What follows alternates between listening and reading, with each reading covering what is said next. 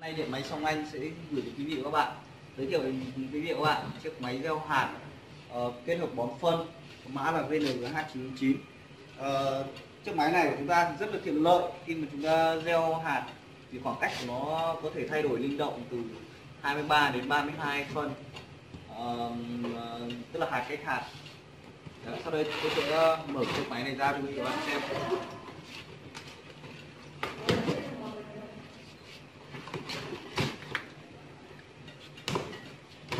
Chiếc máy này của chúng ta thì uh, cái thùng của nó thì nó cũng cũng, cũng rất là gọn gàng. Uh, trong máy của chúng ta thì có một cần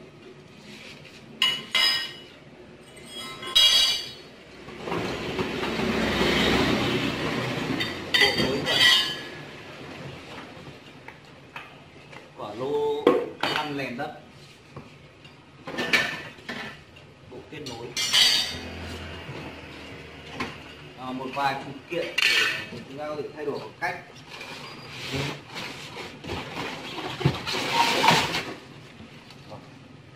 Và đây là chiếc máy của chúng ta. Máy này thì ờ, được ờ, bọc rất là kỹ. Nên ờ, khi mà có thể thì các bạn có thể an tâm về cái cái cái cái, cái độ an toàn của nó. Đây chiếc máy của chúng ta đây à, trong máy thì đi kèm những, ờ, những chi tiết như là bộ bộ thay đổi khoảng cách này. Bộ nối cần. Ta có những cái ờ, thanh nhỏ này để điều chỉnh những cái khoảng cách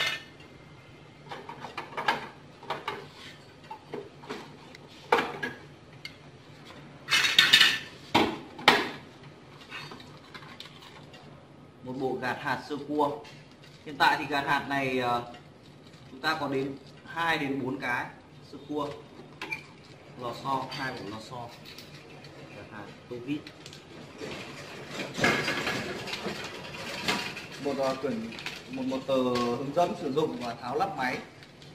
Một quyển à một, chúng ta có hai tờ, một tờ hướng dẫn, một tiếng anh và một tờ hướng dẫn sử dụng một tiếng việt.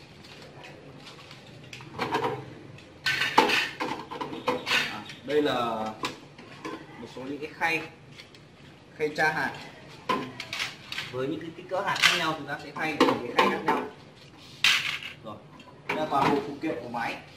À, sau đây tôi sẽ hướng dẫn quý vị và bạn cách thay đổi khoảng cách của cái chiếc máy tra hạt ờ, 999 à, ờ, máy tra hạt này thì xung quanh máy chúng ta sẽ nhìn thấy là có bốn chiếc ốc ở bên rìa máy. Xung quanh này chỉ có bốn chiếc ốc hai ốc đen và hai ốc trắng. Thì ờ, chúng ta sẽ xoay hai cái ốc đen này ra.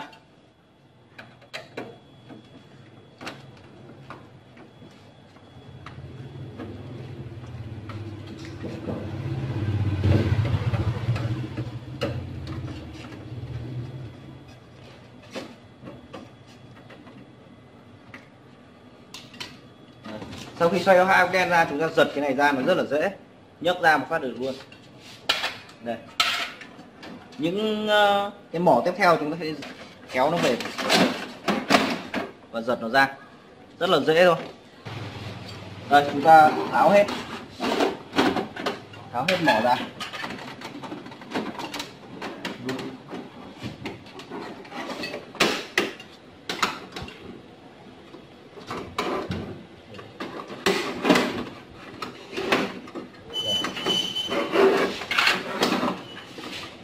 chúng ta chỉ cần di về cái điểm mà điểm điểm điểm à, bắt đầu của chúng ta là cho ra rất là dễ.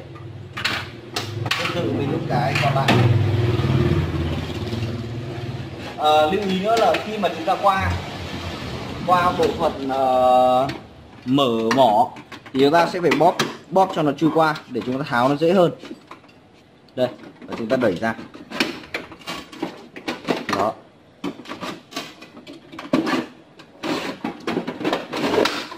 thì chúng ta vẫn lại phải đẩy đẩy về điểm ban đầu và nhấc ra. Rất là dễ dàng.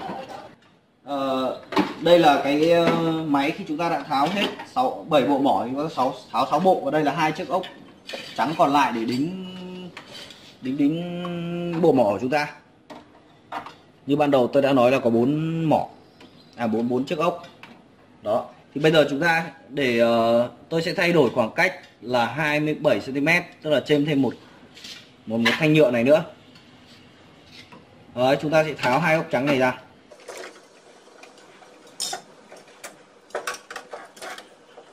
Lưu ý là chúng ta sẽ không làm cho hai hai bên uh, rãnh của chúng ta hay uh, ờ, di chuyển.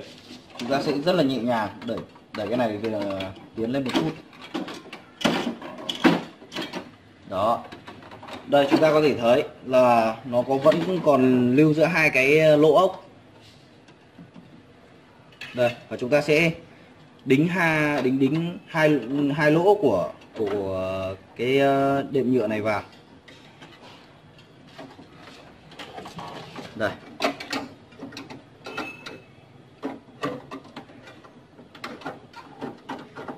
Như vậy đây chúng ta sẽ đẩy ngược lên.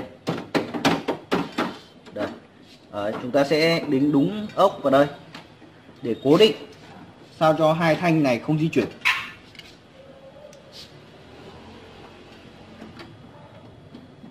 Đây. Đó.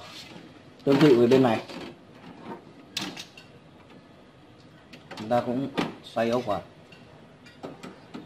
Để cố định.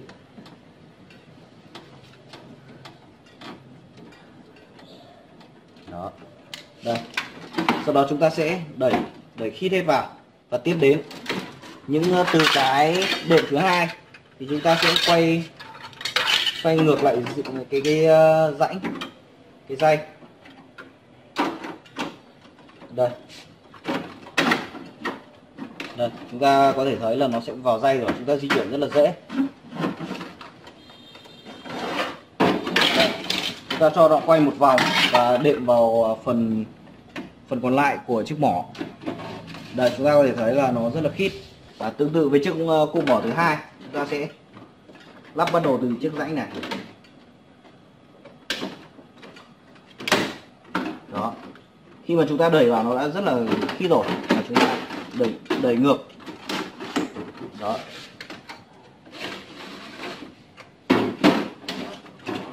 Đây. chúng ta có thể thấy là nó rất là khít với nhau. Đấy cứ tương tự. Thì cứ một cái đệm này và chúng ta sẽ trên một cụm mỏ đến hết. Rất là khít và đây là bộ cuối của chúng ta. Đấy. khi mà chúng ta làm chính xác thì bộ cuối của ta chỉ gài một cái là nó rất là khít với nhau. Đây.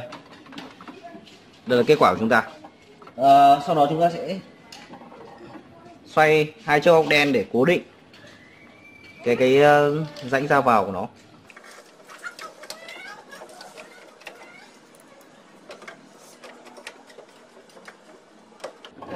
Đây là chiếc máy của chúng ta. Đây quý vị các bạn có thể nhìn rõ hơn nhìn kỹ hơn. Một bộ mỏ một cái đệm và tiếp đến là một bỏ tiếp sau đấy lại một đệm một mỏ. Đấy tương tự với cái khoảng cách xa hơn thì chúng ta sẽ sử dụng cái miếng đệm to hơn đấy, hiện tại cái máy của chúng ta đang là cái khoảng cách của nó là 27 cm là hạt cách hạt